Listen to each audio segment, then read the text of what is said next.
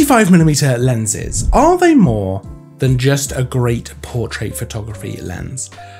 Absolutely, yes. Let's talk about it. It's Tutorial Tuesday. Welcome back to Tutorial Tuesday, where each every each and every Tuesday we bring you a brand new, fresh photography tutorial. This week, of course, is no different. We are going to be talking about 85mm lenses. Now, these are some of my favorite lenses to use for all kinds of photography. I love that focal length. Obviously, they make a great portrait option. You really get to isolate your subject in the frame. You can use focal length compression, which I think looks fantastic. They usually have a nice fast aperture, so you get some beautiful bokeh, but they really focus in on your subject. And I've talked about this before when we've done videos comparing 85mm lenses to 35mm. I feel like 85mm lenses tell the story of who your subject is, whereas a wider lens like a 35mm for portraits will tell the story of where your subject is. Now, I love that storytelling ability with an 85mm lens, but I love using those lenses for all kinds of photography. And you can absolutely take some of the great characteristics that make it great for portraits and apply those to other types of photography like landscape, like street, food photography, product photography, all kinds of different stuff. Now, the main characteristic that I think 85mm lenses are able to bestow upon your photos is the ability to force you to choose a subject within the frame. It's a tighter lens than you might use for landscape, for example. In general, I would often use a 24 to 70 for landscape, so an 85mm is a little bit tighter. It's got the ability to use a nice fast aperture. You know, you've got a bit of focal length compression, and because it's tighter, and because of all those different things, it really pushes you to find the subject in your photo. Now, we've talked about this before with stuff like landscape photography. Finding a subject within your landscape can really improve your landscape photos. It can really inform your composition and inform the way you're going to take the photo. It also creates a natural resting place for the viewer's eye. So when they're actually looking at the photo, they have a place that they naturally come back to with their eyes. It makes it much more comfortable to view the photo and, and not kind of a strain to look around. They can still explore other parts of the photo, but they have a natural place, an anchor, if you like, to come back to within the photo. And that's really important, both in landscape, but in street, in food, in product photography, you want to have a nice defined subject. Now I've fallen into this trap a bunch of times before, not with an 85mm, but with a wider lens, especially with landscape, of finding a beautiful view, and taking a photo of it, but there's no defined subject. So it doesn't really work as a photo. It's a beautiful view to look at, but it doesn't necessarily work as a photo.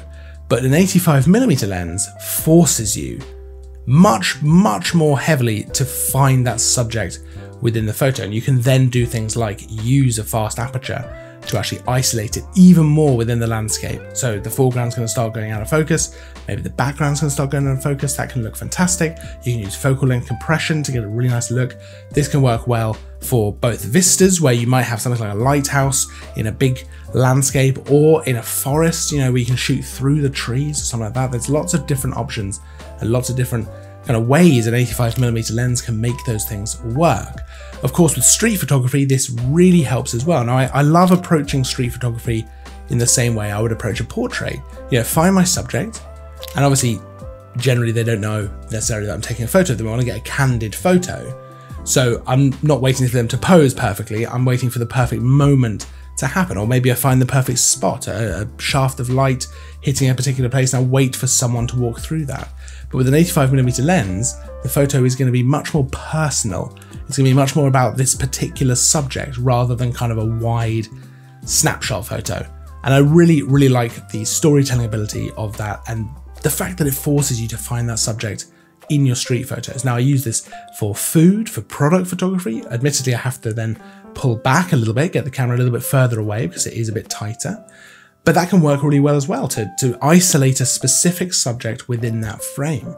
So it's a great option for really finding and forcing you to find your subject. Now, this can be a really useful practice to go and shoot with an 85mm lens to, if you've never done it before and you have one that you use for portraits, to go and shoot some landscapes, some street, maybe some food or product photography, all kinds of different things with an 85mm lens. Because even if you don't end up using that as your go-to lens for different things later, it will force you, like I say, to find that subject. And that skill is then going to carry over when you use a 24 to 70 or a 16 to 35 or whatever it is you then use later on.